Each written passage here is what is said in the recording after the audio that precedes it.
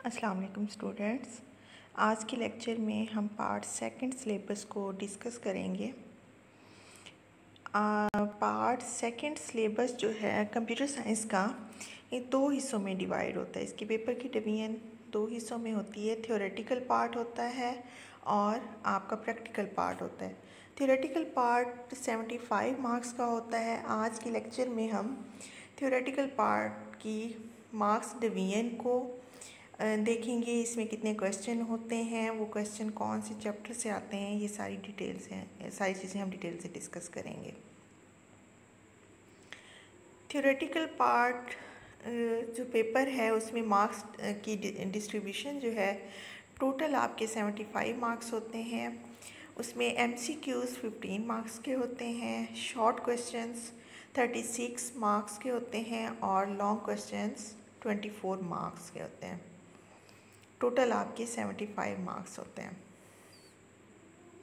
Section wise division आपकी theoretical part की वो किस तरह होती है? वो टोटल तीन आपके सेक्शन होते हैं। सेक्शन ए बी और सी के नाम से। आगे हम इस इन्हें देखते हैं डिटेल से कि हर सेक्शन में आपके पेपर की डिवीज़न किस तरह मार्क्स की डिस्ट्रीब्यूशन और किस तरह होती है? टोटल आपके सेवेंटी फाइव मार्क्स थे। Section A multiple choice question है। ये क्वेश्चन नंबर वन होता है। इसमें एमसीक्यूज़ होते हैं फिफ्टीन मार्क्स के। सेक्शन बी आपके शॉर्ट आंसर क्वेश्चंस होते हैं। थर्टी सिक्स मार्क्स के टोटल होते हैं। इसमें आपके तीन क्वेश्चन होते हैं। क्वेश्चन नंबर टू थ्री और फोर क्वेश्चन नंबर टू में आपको नाइन क्वेश्चन दिए जाएँगे अटैम्प्ट आपने सिक्स क्वेश्चन करेंगे, इस, ये टोटल मार्क्स आपके ट्वेल्व होंगे। क्वेश्चन नंबर थ्री में भी सेम ऐसे ही आपको नाइन क्वेश्चन देंगे। आपने सिक्स क्वेश्चन को अटैम्प्ट करना होगा क्वेश्चन नंबर फोर भी सेम ऐसे ही होगा। ये सेक्शन बी है। सेक्शन सी आपकी लॉन्ग आंसर क्वेश्चंस हैं। टोटल ट्वेंटी फाइव मार्क्स होते हैं। इसमें आपको पाँच क्वेश्चन दिए जाएँगे। आपने तीन क्वेश्चन को अटैम्प्ट करना होगा।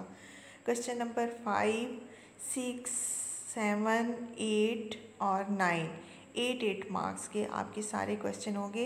इनकी इक्वल ही आपके मार्क्स डिस्ट्रीब्यूशन होती है।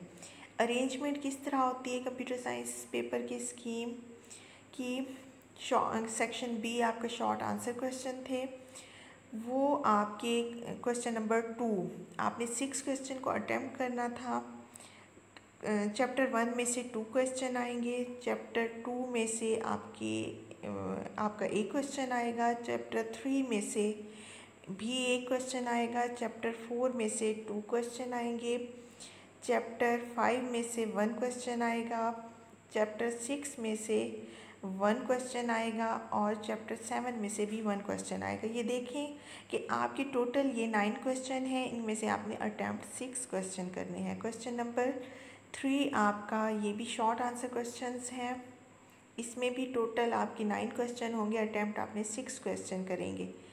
चैप्टर एट में से टू आएँगे चैप्टर नाइन में से फोर क्वेश्चन होंगे चैप्टर टेन में से थर्ड थ्री क्वेश्चन होंगे। ये भी टोटल आपके नाइन है। क्वेश्चन नंबर आपका फोर जो है, उसमें भी सेम ऐसे ही पैटर्न है। सिक्स क्वेश्चन आपने अटेम्प्ट करने होंगे नाइन में से।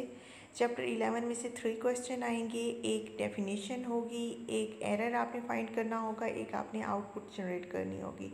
चैप्टर ट्वेल्व में से तीन क्वेश्चन आएँगे, वो कन्वर्जन और आउटपुट के होंगे।